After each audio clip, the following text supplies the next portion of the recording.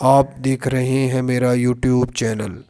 आने वाले नए दोस्तों को खुश आमदीद कहता हूँ। दोस्तों, आज की इस डॉन ऑफ़ पंजाब की वीडियो में आप लोगों को पंजाब की एक और फीमेल डॉन के बारे में बताऊँगा, जिसका नाम रजो चौधरी था और इसका ताल्लुक़ पंजाब की तहसील नवाबपुर से था। इसके वालदेन इसके बचपन में ही वफ़ात पा गए थे। इसके वालदेन के वफ़ात पाने के बाद इसके रिश्तेदारों ने रज्जो चौधरी की कोई मदद न की और यह गुर्बत की ज़िंदगी गुजारने पर मजबूर थी। इसी वजह से इसने मंशियात फ़रोशी का काम छोटे लेवल से शुरू किया, जो चंद अरसे बाद एक बहुत बड़ा कारोबार बन चुका था, जिससे रज्जो चौधरी ने लाखों रुपए कमाए। कहा जाता है कि इस तहसील में रज्जो चौधरी की इजाज़त के बगैर कोई भी शख्स मंशियात की फ़रोख्त नहीं कर सकता था। वक्त गुजरने के साथ साथ इसने अपना एक ग्रुप बनाया, जिसमें 20 के करीब लोग शामिल थे। इसी अरसा के दौरान इसने जुराइम का आगाज़ भी किया। इसी की तहसील में भट्टी ग्रुप ने भी मंशियात फरोशी शुरू कर दी थी।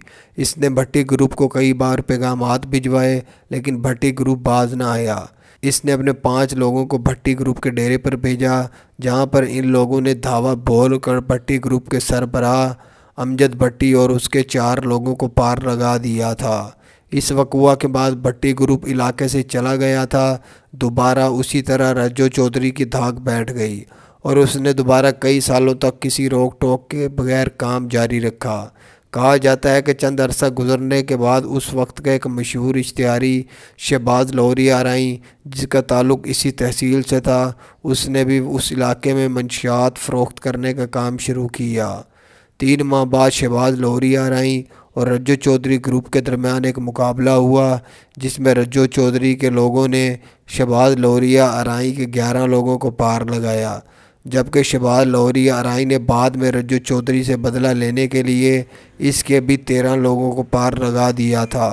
कहा जाता है कि शहबाज लोहरी आरई एक मज़बूत ग्रुप था। उसने अपना सियासी असर रसूख इस्तेमाल करते हुए रज्जो चौधरी ग्रुप पर मुकदमा दर्ज करवाए। पुलिस ने रज्जू चौधरी को साथियों समेत गिरफ़्तार कर लिया था। शबाज लौरिया आरई ने खुद पर एक झूठा मुकदमा दर्ज करवाया और पुलिस को गिरफ़्तार करने के बाद कहा कि मुझे उसी जेल में रखा जाए, जहाँ पर रज्जो चौधरी को रखा गया है। इस तरह प्लानिंग करके शहबाज लौरी आरई उस जेल में गया और जेल के अंदर इसने रज्जो चौधरी को पार लगाने की कोशिश की, लेकिन रज्जो चौधरी खुशकिस्मती से बच गई, लेकिन वो शदीद ज़ख्मी हो गई थी। कहा जाता है कि हस्पताल में उसका इलाज करवाया जा रहा था।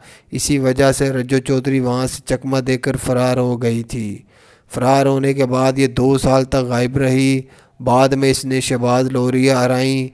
और उसके ग्रुप के मज़ीद सत्रह लोगों को पार लगाया। रज्जो चौधरी को उस वक्त टॉप टेन इश्तारियों की लिस्ट में शामिल कर दिया गया था। पुलिस ने इसके सर पर इनामी रकम भी मुकर कर दी थी, जबकि इस पर दो सौ से जायद मुख्तलिफ़ नोयत के मुकदमा दर्ज थे। रजो चौधरी को पुलिस ने 2003 में भावल नगर के इलाके से गिरफ़्तार करने की कोशिश की, लेकिन इसने पुलिस को गिरफ़्तारी न दी, बल्कि पुलिस का मुकाबला किया। इस मुकाबले में रज्जो चौधरी बर रास्त शामिल थी। रज्जो चौधरी ने उस वक्त दो सब इंस्पेक्टर और पाँच सिपाहियों को पार लगाया, जबकि पुलिस की तरफ़ से बाद में रज्जो चौधरी और उसके साथियों को गिरफ़्तार कर लिया था, लेकिन इन्हें जेल शिफ्ट करने के बजाय इन्हें रस्ते में ही एक जाली मुकाबले में पार लगा दिया था। इस वकुआ के बाद इन तमाम इस वकुआ के बाद इन तमाम पुलिस वालों को इनामात से नवाजा गया था। मेरा वीडियो बनाने का मकसद आप लोगों को बताना है कि बुराई का काम बुराई होता है, इसलिए इस काम से दूर रहें। या अल्लाह हम सबको माफ़ फरमा, मेरे माँ बाप बहन भाई, पीर मुर्शिद, वालद, दोस्त, अबाब, रिश्तेदार जो ज़िंदा जा चुके हैं, सबकी मगफिर फरमा। या अल्लाह मेरे जइयो काद, यानी यहूदियों को मैं मैकरोन को, फ्रांस वालों को, जिसने मेरे नबी की शान में गुस्साखी की, उनको नबूत फरमा। आमीन।